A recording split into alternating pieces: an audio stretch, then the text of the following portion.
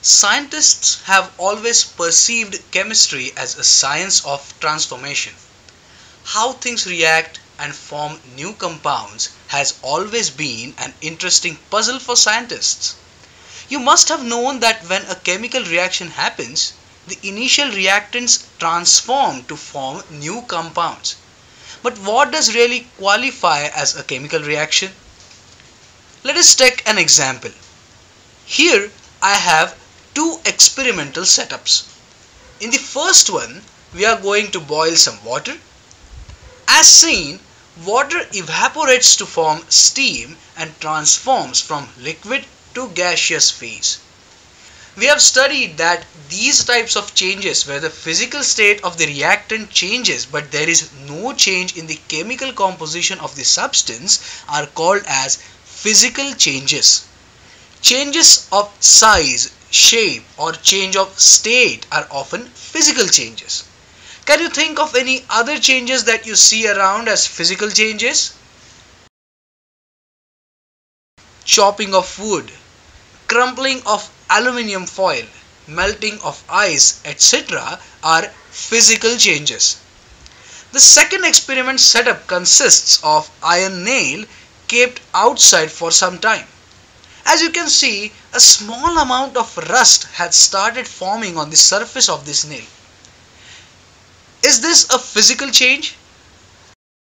As we can think, the appearance of the iron nail has changed. Its shiny outer layer has been turned to dull red layer. If we take the rust off and see its chemical composition, we would find that the chemical composition has actually changed in this process the iron has turned to iron oxide.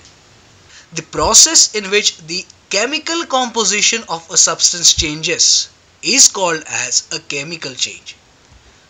A chemical change results from a chemical reaction while a physical change is when matter changes forms but not the chemical identity.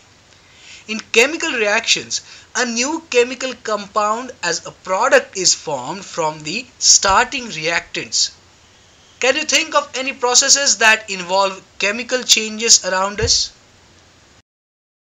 Ripening of fruit, burning of paper, reaction between baking soda and vinegar are all examples of a chemical change. Chemical changes take place at the atomic or molecular level.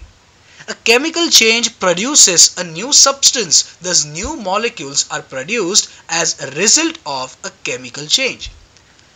Another way to think of it is that a chemical change accompanies a chemical reaction.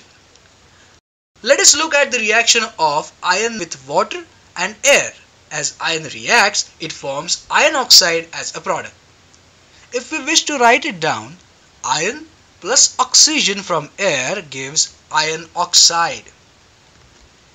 In chemical terms it will be 4 times Fe plus 3 times O2 giving 2 times Fe2O3. As you can see, a new substance, iron oxide is formed in this reaction. This is written as a product on the right hand side of the arrow. The left hand side indicates reactants that react together to form the products. The arrowhead points towards the products of the reaction. Please be aware that chemists use an arrowhead to indicate that the chemical reaction has happened. How can we differentiate a physical change apart from chemical change? First, we look for an indication that a chemical change has occurred. Chemical reactions release or absorb heat or another energy or may produce a gas, odor, color, sound or light. If we don't see any of these indications, a physical change likely occurred. Be aware, a physical change may produce a dramatic change in the appearance of a substance. This doesn't mean a chemical reaction occurred. For example, converting water to steam did produce gaseous water but no chemical reaction had happened in that process. In some cases, it may be hard to tell whether a chemical or physical change has occurred. For example, when we dissolve sugar in water, a physical change occurs. The form of the sugar changes, but it remains the same chemically. the sucrose molecules that form the sugar do not change their chemical nature. However, when you dissolve the salt in water, the salt dissociates into its ions from NaCl into Na plus and Cl on passing electric current. So, a chemical change occurs. In both cases, a white solid dissolves into a clear liquid and in both cases, you can recover the starting material by removing the water, yet the processes are not the same. Summary We have studied that these types of changes where the physical state of the reactant changes but there is no change in the chemical composition of the substance are called as physical changes.